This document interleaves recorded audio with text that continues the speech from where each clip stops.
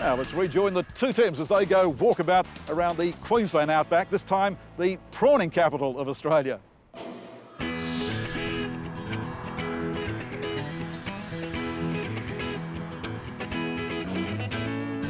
Once again, we're on the road north and soon found out how extreme and isolated these parts really can be. When a sign says there's no food or fuel for the next 200 kilometres out here, it really means it, so you pull in.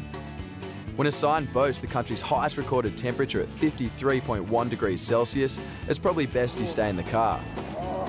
And if this supposed life-size monument of a crocodile caught in these parts was any indication of what was in store for us, well, we had every right to be a little bit nervous. Well, we've just driven all day from Mount Isa on the way to the Gulf country and a little fishing town called Karumba. Now, we've heard some exciting stories about this place, so we thought it's time to try it out for ourselves. Look at this, population small.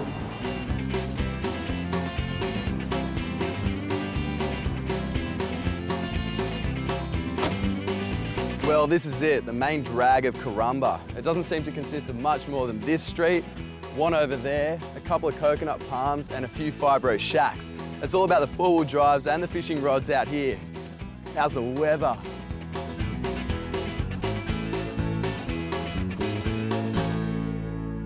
Located at the mouth of the Norman River, Karumba is a small town with a big fishing trade, being the centre of the Gulf's prawn and barramundi industry. Often completely isolated in the wet season and surrounded by wetlands, Karumba truly is the gateway to the wild Gulf of Carpentaria. Well, this is it, the Gulf of Carpentaria. Now, Cape York, the northern tip of Australia, is just up that way. Eastern Arnhem Land, just over there, and the islands of Indonesia, just over the horizon. It's a vast, unspoilt expanse of water renowned for its remote beaches and abundant marine life, in particular the largest and most ferocious of all the reptiles, the estuarine or saltwater crocodile.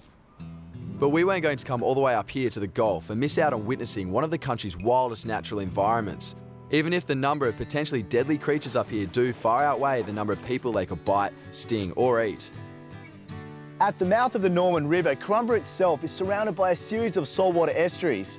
These wetlands are a haven for bird species such as pelicans, ospreys and sea eagles. So we've teamed up with local experts Alison and Glenn to show us some of the birds in the area and they've also promised to show us some of the region's more toothy residents. Currently we're heading southwest. Uh, we're heading towards Normanton. As you can see, mangrove-lined waterway, really quite wide. It's about half a nautical mile from one bank to the other in this widest patch. On the river itself, there's all sorts of things. Wonderful array of bird life. Um, your standard egrets and kites and, things that are large, um, all the way through to little tiny red-headed honeyeaters and white-breasted whistlers that only hang out in a mangrove section between roughly Karumba through to Broome. It's a really good combination, especially for the wildlife and the birds. But there is one species in particular that we simply could not keep off our minds. And after all the stories we had heard about what lurks in these waters, we had expected a heavily armoured gunship as the escort for this adventure. Though seeing this big salty slide into the murky water with the town of Karumba sitting right there behind him didn't exactly make us want to join the open water swimming team. However, we were on the lookout for something truly humongous, and that is exactly what we found. This ride here is a solid 15 feet of muscle, teeth and leather, truly a sight of prehistoric survival, and a pretty good reason to stay out of the water. And while we were worried about being eaten, our new local mates were more concerned with eating something themselves, so they thought it was time to introduce us to one of the region's true delicacies, mud crab. Looks like you get the lively one, Tim. oh, here we go. And just like that, a fully grown mud crab was let loose in the boat for us to wrestle. And no one said anything about my poor choice in footwear.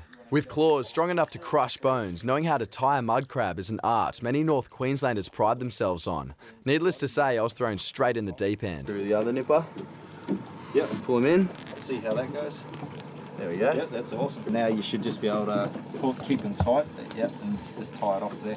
So tie it off here. Yep. One Queensland mud crab. You got him. Sunsets are another thing that make the Gulf a prized destination for the intrepid traveller. And out on the water, you truly get the best view of this spectacular sight. Sunsets are one of those things that always seem to mesmerise us. How many of us have gone away on holiday, taken rolls and rolls of film, but the one that always makes it to our wall is that beautiful sunset over the ocean? We can see a million but never really get sick of them, but to witness a sunset over the Gulf of Carpentaria is something truly special. That one is definitely going to make it to my wall.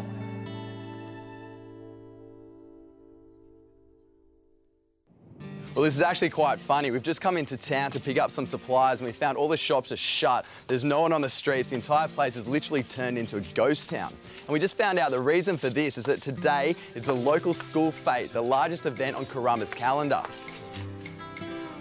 What kind of a school fete goes to 1am anyway? When I think of a school fete, I think of fairy floss and jumping castles. However, at the Karumba School Fete, it's got here on the timetable, they also have a DJ, a licensed bar, toad racing, and it's got here two Tims in clown suits.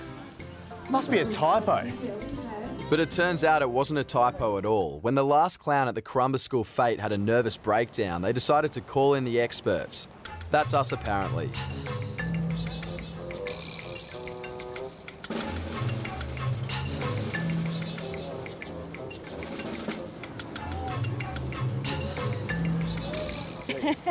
there are some wild cl clowns this year, yeah, some crazy people, and they are giving the kids lots of lollies and hyping them up. That's great. As a school, we need the funds, and the whole community gets behind it to increase the funds for our students so that they have the best access to learning. I would say it's the biggest event in this region or district of the year. It's pretty amazing, and we, that's why we draw so many people up adults and children are encouraged to stay on beyond the afternoon so that they can enjoy the night activities. But it's definitely more of an adult party after hours.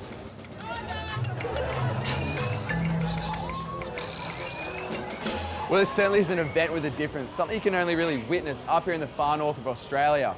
This right here is a cane toad, one of Australia's most prolific pests. And I suppose it makes perfect sense if you can't get rid of them, learn to live with them and maybe have a little bit of fun along the way. The aim of the game is simple. Drop the toad in the middle of the circle. The first one to jump outside of the circle wins. Let's go check it out. Going once, twice. Once the toads had been auctioned off, they were placed in the middle of a circle and released.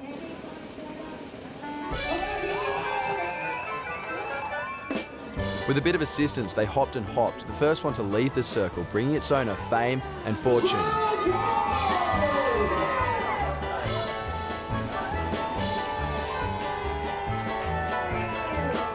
And as if we hadn't been humiliated enough for one day, to conclude our Karumba School Fete experience, we had also been signed up for a local fundraiser that involved parading around in the most embarrassing array of clothing that the deranged local organiser could possibly conjure up.